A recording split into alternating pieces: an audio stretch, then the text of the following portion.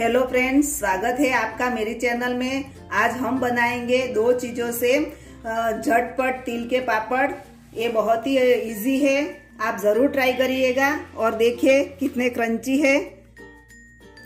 तो चलिए शुरू करते हैं रेसिपी सबसे पहले हम गैस पर एक कढ़ाई रखेंगे और गैस को ऑन करेंगे। अब हम इसमें डालेंगे तीन चम्मच शक्कर और इसकी हम चाशनी बनाएँगे।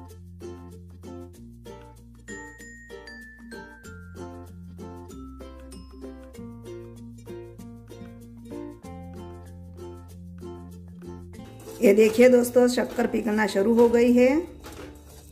इसी तरह से हम हलाते रहेंगे।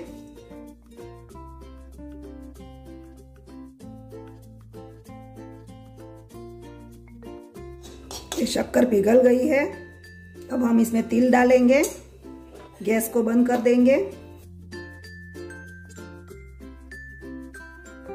तीन चम्मच हमने तिल डाले हैं, अगर ज़रूरत होगी तो थोड़े से और डालेंगे।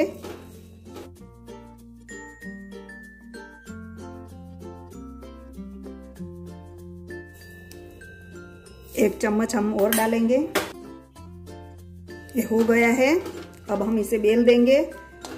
बेलने के लिए हम प्लेटफॉर्म पर घी लगाएँगे। और बेलन पर भी घी लगा देंगे।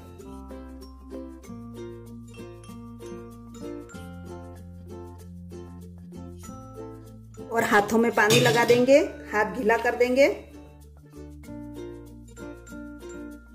और एक लुया जैसा बना देंगे और फिर इसे बेल देंगे।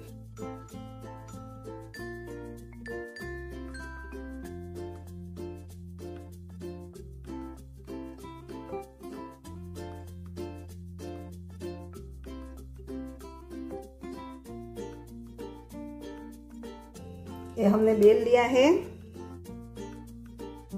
ये देखिए, इसी तरह से बनाना है हमें।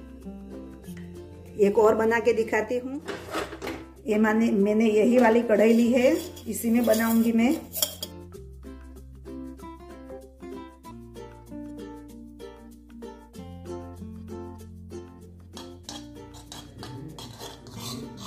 ये शक्कर पिघल गई है, अब हम गैस को बंद करेंगे।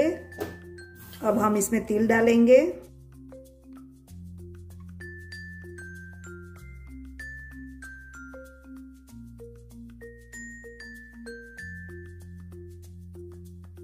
वन लेंगे।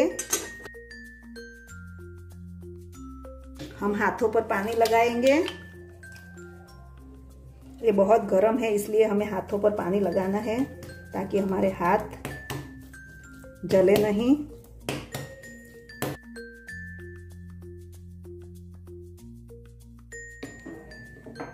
हमने बेल दिया है।